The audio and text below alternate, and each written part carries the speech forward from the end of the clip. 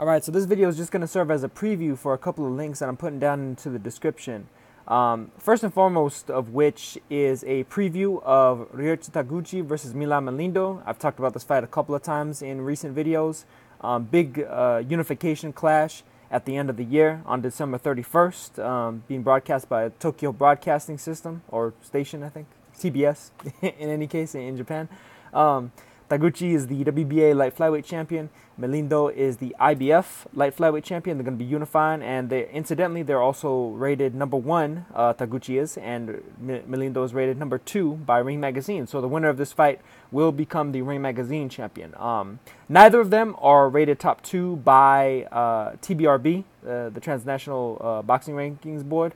Um, so this wouldn't be for the TBRB lineal title necessarily, uh, but it will be, you know, for, for pretty high stakes. Um, I, th- I, think TBRB, matter of fact, uh, rates Taguchi and uh, Melindo somewhere. I, th- I think they're about like three and four or four and five, something like that.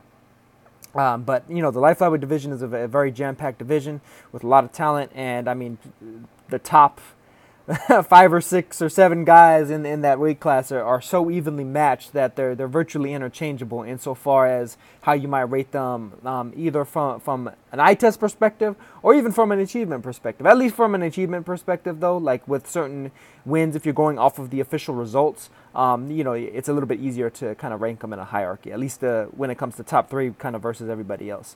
Um, but um, otherwise, you know, it's very evenly matched division, and uh, this is a, pr- a, relatively evenly matched fight. I think they kind of play into each other's strengths really nicely.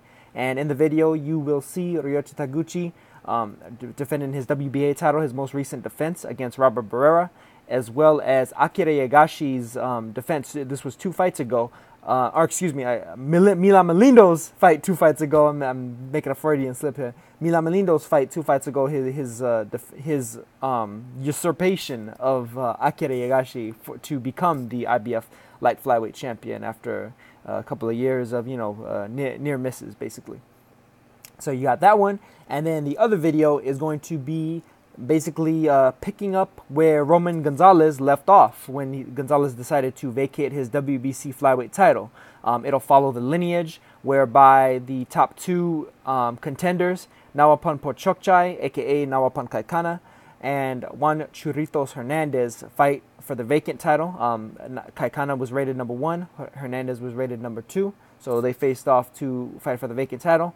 Um, and then it will follow the lineage from there with the winner of that fight fighting facing off against uh, Daigo Higa, who of course is currently the champion at, at 112 pounds for the WBC, and it will also showcase Higa's first defense against Thomas Masson. Three excellent action-packed fights, and like I, I'm not even I'm you know I'm not even overstating how good these fights were. Really, really excellent um, series of fights, and it just shows you, you know, the, that even with uh, the likes of uh, Chocolatito and Estrada having moved up out of the flyweight division, um, you got you got young guns looking to uh, to try and you know make their way, pave their name into uh, into the history books, into the uh, into the minds of of the boxing fan, whether hardcore, casual. I mean, shit. In, in Japan, in Japan, you know, the, these guys, even casual fans know who these guys are. You know, doing um, millions upon millions. You know, seven, eight million viewers a, a, show uh, on TV.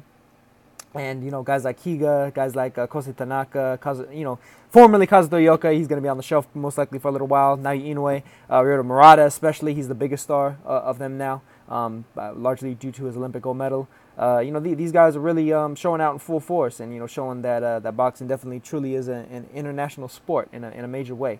Um, not only because of, of their own accomplishments, but even their accomplishments against some of the guys that they're beating, who you know range all across the world. You know, guys from, from the Philippines and, and Thailand, uh, Mexico, uh, Colombia, Argentina, South Africa, um, all, all, throughout the planet, man. There's a lot, lot of great fighters out there, and a uh, lot, lot of great fights to be had out there. Um, I, matter of fact, the 108 pound division I think kind of showcases that uh, in, in, spades as well. You know, just by virtue of um, pretty much the, the, a lot of those top fighters, you know, they, they kind of uh, have uh, come from a pretty good variety of, of different uh, locations, locales across the world. But um, I'm going off into a little bit of a tangent.